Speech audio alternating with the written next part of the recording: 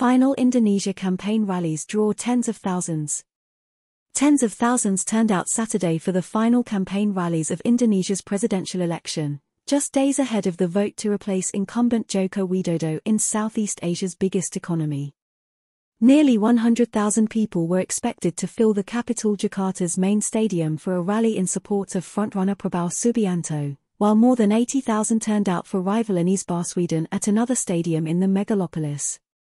Third-time candidate Subianto, Indonesia's defense minister and a former general, is leading rivals Baswedan and former Central Java Governor Ganjar Pranowo by double digits in polls ahead of Wednesday's vote. The streets of Jakarta were brought to a standstill by hordes of scooters and cars heading to the back-to-back rallies.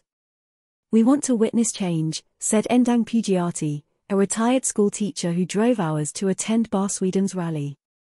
Anies is a trustworthy person, that's why he could be a good leader. The entrances to the stadium in North Jakarta where Baswedan addressed his supporters became so packed that several people fainted, according to an AFP journalist there. Many had camped overnight for the event. Pranowo was holding two events on Saturday in the Javan cities of Semarang and Surakarta. A spokesperson for Subianto's campaign told reporters that early turnout for the frontrunner's afternoon rally was beyond the expectation of the national campaign team, adding that most of the stadium had been filled hours before the event.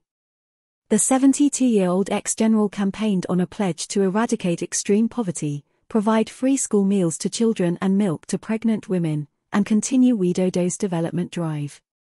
More than 204 million Indonesians will choose their next president, parliamentarians, and thousands of local officials on February 14.